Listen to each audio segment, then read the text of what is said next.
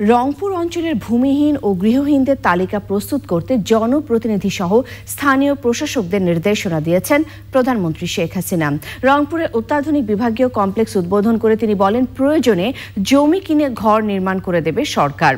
সরকার প্রধান বলেন, পরিকল্পিত উদ্যোগের কারণেই মঙ্গা কবলিত রংপুর এখন খাদ্যে স্বয়ংসম্পূর্ণ।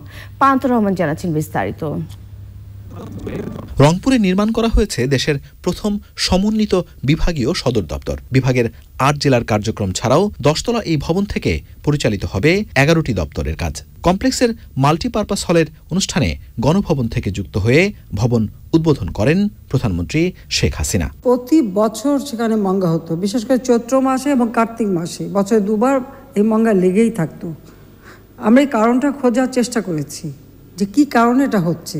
আমরা দেখেছি মানুষের কোনো কাজ থাকতো না, কোনো উৎপাদন থাকতো না, মানুষের খাবার ব্যবস্থা থাকতো না। সে আটানব্বই বন্যার পর আমাদের খাদ্য উৎপাদন বাড়ে এবং এইসব অঞ্চলে এই সময়টায় যাতে কিছু ফসল হয়, আমরা রিসার্চ করে সেটা বের করে সেই উৎপাদন করি এবং আমাদের ওই অঞ্চলে মানুষের কর্মসংস্থান ব্যবস্থা করি।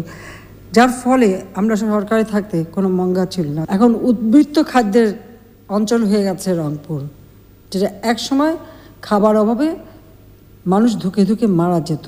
পঁচাত্তর পরবর্তী সরকারগুলো যতটা নিজেদের কথা ভেবেছে ততটা মানুষের কথা ভাবেনি বলে অভিযোগ করেন শেখ হাসিনা। রংপুরের লোকই তো ক্ষমতায় ছিল কিন্তু সেই রংপুরের মানুষের তেমন কোনো ভাগ্য পরিবর্তন হয়নি। তারা নিজেদের ভাগ্য করেছে কিন্তু মানুষের সাধারণ মানুষের ভাগ্য হয়নি। নৌকা মার্কায় ভোট দিয়েই কিন্তু রংপুরবাসী এই সব সুযোগ সুবিধাগুলি পেয়েছেন সেটা বোধহয় ভুললে চলবে না। মুজিব বর্ষের প্রতিশ্রুতির কথা মনে করিয়ে দিয়ে তিনি ভূমিহীনদের তালিকা করার নির্দেশনা দেন। আমি চাই এখানে আমাদের প্রশাসনের কর্মকর্তারা আছেন বিভাগীয় কমিশনাররা আছেন। আমার কথাটা হচ্ছে যে আপনাদের খুঁজে বের করতে হবে এবং আমাদের জনপ্রতিনিধি যারা আছেন বা দলের লোক যারা আছেন সবাইকে আমি বলব যে আপনারাও খুঁজে বের করেন যে কোনো ভূমিহীন মানুষ আছে কিনা। দরকার হলে জমি কিনে তাদের আমরা ঘর করে দেব।